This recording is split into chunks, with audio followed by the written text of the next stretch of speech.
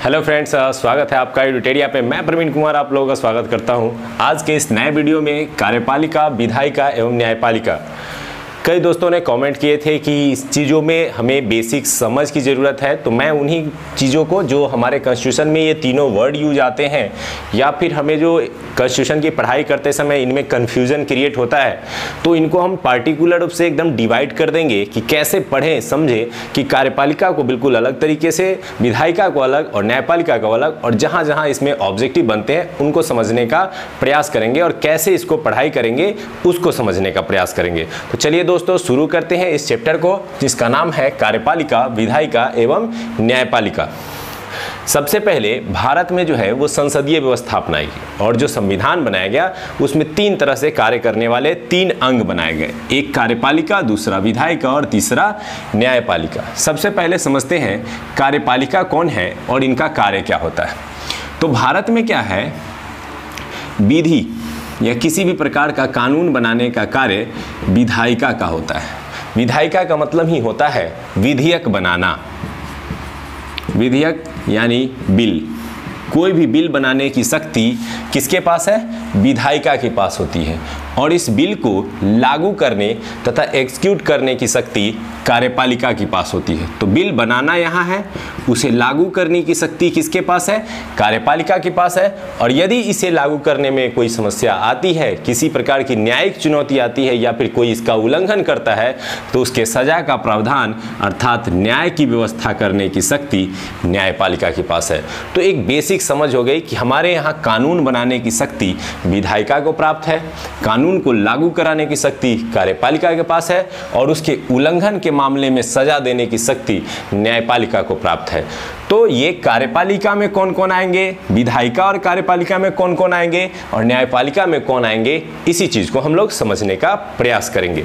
सबसे पहले आते हैं कार्यपालिका को देखते हैं।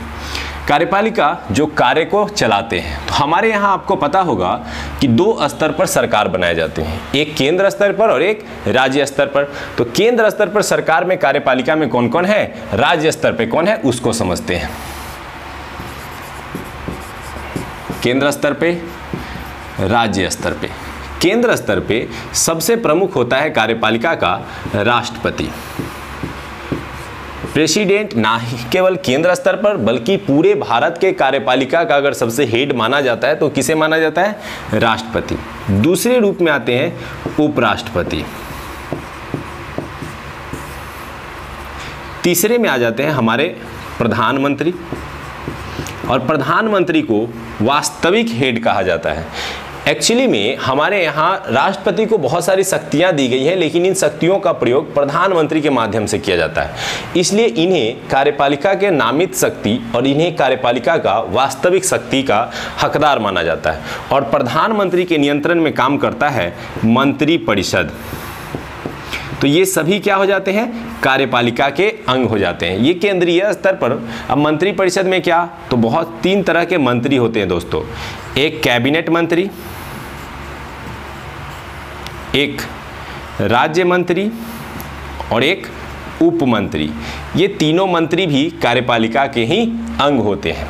इसके अलावा मंत, इस कार्यपालिका को समझने के लिए आपको एक चीज़ और ध्यान रखना है कि हमारे यहाँ दो तरह के कार्यपालिका भी डिवाइड किए जा सकते हैं।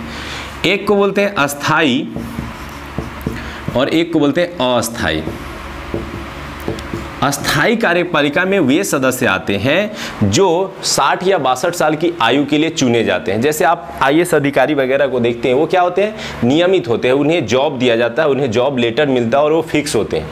तो वैसे अधिकारीगण जो एक निश्चित सीमा, यानी लगभग 60 वर्षों की आयु तक के लिए कार्यकाल के लिए कार्यपालिका का अंग बनते हैं, वे अस्थाई कार्यपालिका कहलाते हैं। और ये जो हमारे यहाँ पे राष्ट्रपति, उपराष्ट्रपति, प्रधानमंत्री, मंत्रिपरिषद, ये सभी पाँच वर्षों के लिए चुने जाते हैं। तो इसलिए इन्हें क्या कहा जाता है? अस्थाई कार्यपालिका कहा जाता है। तो इस अस्थाई कार्यपालिका के केंद्र के समान ही दोस्तों, यहाँ राज्य में भी कार्यपालिका होती है और राज्य में हम लोग देख सकते हैं राज्यपाल, मुख्यमंत्री, मंत्रिपरिषद। ये क्या हो गए? राज्य के कार्यपालिका हो गए। और यहाँ हमने देखा था केंद्र के। ये राज्य में अस्थायी कार्यपालिका है, ये केंद्र में अस्थायी कार्यपालिका है। अस्थायी कार्यपालिका दोनों जगह होते हैं और वो अधिकारी गण होते हैं जो अधिकारी के रूप में सेवा देते हैं, सचिव के पद पे होते हैं। ये सब क्या होते हैं? अस्थायी कार्यपालिका के अंग होते हैं। ठीक है दोस्तों? तो चलिए अब हम लोग इसकी ओर बढ़ते हैं। अब इसी अस्थाई कार्यपालिका या अस्थाई कार्यपालिका है। इसके बारे में स्पेशली हम लोगों को पार्टिकुलर रूप से पढ़ना है, जैसे राष्ट्रपति। तो राष्ट्रपति चैप्टर को पढ़ना है। राष्ट्रपति चैप्टर से जितने ऑब्जेक्टिव आ सकते हैं, क्या उनकी शक्तियाँ हैं, क्या उनके कार्य है, उनकी पदावधि क्या होती है, कितने बार चुने जा सकते हैं, शपथ कौन दिलाता है तो ये सब बाड़ी बाड़ी से आपको राष्ट्रपति चैप्टर फिर उपराष्ट्रपति, फिर प्रधानमंत्री, मंत्रिपरिषद, फिर राज्य में आएँगे तो राज्यपाल, मुख्यमंत्री आदि, ये क्रमशः आपको पढ़ना पड़ेगा, तब जाकर कार्यपालिका पूरी तरह से आपको समझ में आएगा। फ़िलहाल हमने एक बेसिक स्ट्रक्चर समझा कि किस प्रकार से अस्थायी और अस्थायी में कार्यपालिका विभाजित है। केंद्र और राज्य स्तर पर कार्यपालिका विभाजित है। राज्य के कार्यपालिका का हेड राज्यपाल होता है और केंद्र के कार्यपालिका का हेड राष्ट्रपति होते हैं। उसी तरह से अब आते हैं विधायिका में और ये जो विधेयक बनाने संबंधी काम है, ये भी दो जगह देखे जाते हैं। एक केंद्र में होता है और एक राज्य में होता है। आपको हमने, मैंने पढ़ाया था स्पेशली सूचियों में कि तीन प्रकार की सूचियाँ हैं। केंद्र सूची, राज्य सूची और संवर्ती सूची। तो जो केंद्र सूची है, उन विषयों पर जब विधि बनाने की बात आती है तो वो किसके द्वारा बनाया जाता है? केंद्र द्वारा। जो राज्य सूची की विषय है, उस पर कानून बनाने का मुख्य अधिकार किसको है? राज्य को। और जो संवर्ती सूची है, उनमें दोनों बना सकते हैं। तो ये जो केंद्र में या राज्य स्तर पर विधायिका काम करता है, वो उनका मुख्य काम होता है विधि बनाना। विधि बनाने के लिए केंद्र स्तर पर जो व्यवस्था की गई है, उसका नाम है संसद।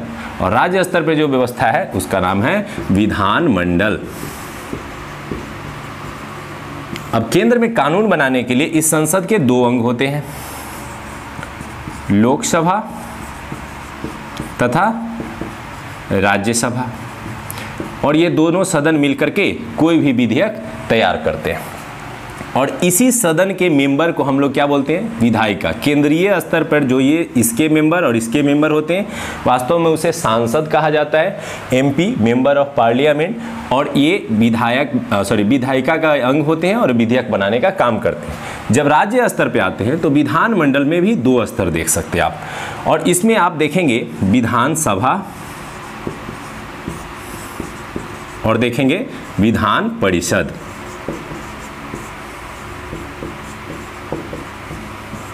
विधानसभा सभी राज्यों में अनिवार्य होता है। ये जितने भी हमारे अभी राज्य दिखाई दे रहे हैं, उनतीस राज्य, उन सभी राज्यों में विधानसभा मौजूद है। इसके अलावा दो केंद्र शासित प्रदेश, दिल्ली एवं पुदुचेरी में भी विधानसभा है। लेकिन विधान परिषद जो होता है, वो सभी राज्यों में अनिवार्य नहीं है। यह डिपेंड करता है उस राज्य पर कि क्या वो विधान परिषद रखना चाहते हैं या नहीं। ये विधान परिषद रखने वाले अभी राज्यों की संख्या सात बताई जा रही है। ठीक है? और ये अगर राज्य चाहे तो इसे हटा भी सकते हैं, राज्य चाहे तो इसे अपना भी सकते हैं। तो ये चलता रहता है। तो इस तरह से राज्य स्तर पर विधानमंडल विधायिका का काम करते हैं और इसके मेंबर सॉरी विधायक कहलाते हैं और इसके मेंबर सांसद कहलाते हैं। जब इसमें आते हैं तो member of legislative assembly, member of legislative council, ये हम विधानमंडल के स्तर पे देखते हैं। और यहाँ एमपी सांसद के स्तर पे देखते हैं, जो लोकसभा और राज्यसभा में होते हैं। अब मैटर फंसता है कि प्रधानमंत्री तो यहाँ भी होते, जैसे अभी नरेंद्र मोदी जी हैं तो वो लोकसभा के मेंबर हैं। और नरेंद्र मोदी जी यहाँ प्रधानमंत्री लोकसभा के सदस्य होने के नाते वो विधायिका के भी अंग होते हैं। और जब यहाँ वे कार्यपालिका के रूप में कार्य करने लगते हैं तो कार्यपालिका के अंग भी होते हैं। उसी तरह से जितने भी मंत्री पद होते हैं, जैसे आप कैबिनेट मंत्री देख रहे हैं, राज्य मंत्री देख रहे हैं, वर्तमान में आप राजनाथ सिंह जी को देख रहे हैं, सुषमा स्वराज जी को देख रहे हैं तो ये जितने भी लोग हैं जो मंत्री बनते हैं, ये मंत्री बनने के बाद कार्यपालिका का अंग बन जाते हैं। और जब तक मंत्री नहीं है, तब तक क्या होते हैं? विधायिका का अंग बन जाते हैं। तो एक ही व्यक्ति कार्यपालिका भी हो सकता है उसी समय और विधायिका भी हो सकता है। जब वह संसद में बिल पास करने के लिए जाता है तो वह विधायिका के रूप में काम करता है और जब वह अपने मंत्रालय में रह के कार्य करता है तो उस समय वह कार्यपालिका काम करते हैं। जैसे सरकार पक्ष के कई मेंबर कार्यपालिका के साथ काम करते रहते हैं। जो विपक्ष में बैठे लोग होते हैं, वो केवल विधायिका के रूप में ही काम कर पाते हैं। तो इस तरह से विधायिका के सदस्य कार्यपालिका के भी मेंबर हो सकते हैं। ये हमेशा आपको याद रखेंगे कि विधायिका और कार्यपालिका में एक बॉन्डिंग चलता रहता है। इसके मेंबर इसके भी मेंबर है और इसके मेंबर इसके भी मेंबर है। और विधायिका कौन कौन थे? कार्यपालिका कौन कौन थे? इसे हम लोगों ने आसानी से समझ ली। अब आते हैं न्यायपालिका के तो कानून व्यवस्था को सही रूप से चलाने के लिए या फिर उसका कोई उल्लंघन करता है तो उसके दंड के प्रावधान के लिए ही स्पेशली न्यायपालिका की बात की गई है। भारत में न्यायपालिका को स्वतंत्र रखा गया है और उसे एकीकृत रूप में ढाला गया है। यानी ऊपर से लेकर नीचे के रूप में एक श्रृंखलाबद्ध रूप में सजाया गया है। इस व्यवस्था को एकीकृत न्यायपालिका कहते हैं। जैसे हमारे यहाँ सबसे ऊपरी स्तर पर जो न्यायालय है, वह है सुप्रीम कोर्ट। फिर उसके निचले स्तर पे आते हैं हाई कोर्ट। और फिर उसके निचले स्तर पे आते हैं तो डिस्ट्रिक्ट कोर्ट या जो सत्र न्यायालय हम लोग कहते हैं, वो आ जाते हैं। तो इस तरह से ये न्यायपालिका का एक क्रमिक चरणबद्ध श्रृंखला है, जिसे हम लोग एकीकृत न्यायपालिका कहते हैं। अब इसमें ये केंद्र और राज्य वाली बात नहीं होती। ऐसा नहीं है कि केंद्र का कोर्ट है सुप्रीम कोर्ट और राज्य का कोर्ट है हाई कोर्ट। ऐसा नहीं है। राज्य स्तर पर सबसे बड़ा न्यायालय उच्च न्यायालय है, लेकिन केंद्र स्तर पर सबसे बड़ा न्यायालय सुप्रीम कोर्ट है। इसका यह तात्पर्य नहीं लगाया जा सकता है कि यह राज्य का है यह केंद्र का। वास्तव में यह एक क्रमिक श्रृंखला है, जिसमें विधिवत रूप से यदि यह इस कोर्ट के फैसले को आप नहीं मानते हैं तो यहाँ अपील कर सकते हैं, यहाँ को नहीं मानते हैं तो यहाँ अपील कर सकते हैं। तो ये ये न्यायपालिका एकीकृत है, स्वतंत्र है और निष्पक्ष रूप से काम करती है। आपको मैंने एक अनुच्छेद पढ़ाया था, अनुच्छेद 50 याद होगा राज्य के नीति निर्देशक तत्वों में, जिसमें मैंने बताया था कि अनुच्छेद 50 कहता है न्यायपालिका और कार्यपालिका का पृथककरण। यहाँ विधायिका और कार्यपालिका आपस में जुड़कर काम करते हैं, मिलकर काम करते हैं। लेकिन इसमें यही बताया गया हमारे कॉन्स्टिट्यूशन में कि न्यायपालिका और कार्यपालिका को पृथक रखना चाहिए। क्यों रखना चाहिए दोस्तों? यदि आप एज ए एग्ज़ाम्पल समझते हैं, यदि यहाँ सरकार और यहाँ जज दोनों एक दूसरे से साठ गांठ रखेंगे तो किसी भी कीमत पर निष्पक्ष न्याय नहीं हो पाएगा। ना ही सरकार पर न्यायपालिका किसी परिस्थिति में अच्छे काम करने के लिए दबाव बना पाएगी। तो इसीलिए अगर ये दोनों एक दूसरे से अलग रह के काम करते हैं तो जनता की भलाई अधिक हो पाती है और जो लोक कल्याणकारी राज्य की स्थापना की बात हम करते हैं हमारे संविधान में, वो पूरा हो पाता है। इसीलिए अनुच्छेद 50 के तहत न्यायपालिका और कार्यपालिका के पृथककरण की बात की गई है। तो ये आपको समझ में आया होगा कि कार्यपालिका कैसे काम करता है, विधायिका का क्या काम होता है और न्यायपालिका का क्या काम होता है। इसमें केंद्र स्तर पर भी विधायिका और सॉरी कार्यपालिका और राज्य स्तर पर कार्यपालिका, विधि बनाने के लिए जो विधायिका है, वो केंद्र स्तर पर भी है और राज्य स्तर पर भी है। लेकिन न्यायपालिका जो है, वो हमारे पूरे भारत में एकीकृत है। इसे केंद्र या राज्य में नहीं बांटा जाता, बल्कि एक क्रमिक श्रृंखला में ये काम करते हैं। ठीक है? और सबके काम एक दूसरे को सपोर्ट करना है। और फाइनली ये तीनों स्तंभ मिलकर इस तरह से भारतीय लोकतंत्र की रीढ़ बनते हैं। कार्यपालिका, विधायिका और न्यायपालिका। और आपने पढ़ा होगा कि लोकतंत्र का चौथा स्तंभ जो है वो मीडिया को कहा जाता है। तो ये तीन स्तंभ ये हैं जिनके ऊपर हमारा लोकतंत्र टिका हुआ है। तो उम्मीद करते हैं कि ये आपको समझ में आ गया होगा। आने वाले वीडियोज़ में हम लोग इसे चैप्टर वाइज पढ़ेंगे। यहाँ पर जैसे कार्यपालिका के अंदर राष्ट्रपति, उपराष्ट्रपति, प्रधानमंत्री को पढ़ेंगे, फिर राज्य के कार्यपालिका, फिर विधायिका में, केंद्र का विधायिका, राज्य के विधायिका और फिर न्यायपालिका में, सुप्रीम कोर्ट और हाई कोर्ट। इस तरह से क्रमिक रूप से इसे चैप्टर वाइज पढ़ेंगे और इन चैप्टरों से जो भी ऑब्जेक्टिव आते हैं, उसे आसानी से आप बना पाएँगे। उम्मीद करते हैं कि ये पूरा का पूरा कॉन्सेप्ट समझ में आ गया होगा। अगर समझ में आ गया है तो दोस्तों लाइक सब्सक्राइब और अपने मित्रों को इसे शेयर करना ना भूलें। चलिए एडुटेरिया के साथ बने रहने के लिए धन्यवाद। आपका अपना प्रवीण कुमार।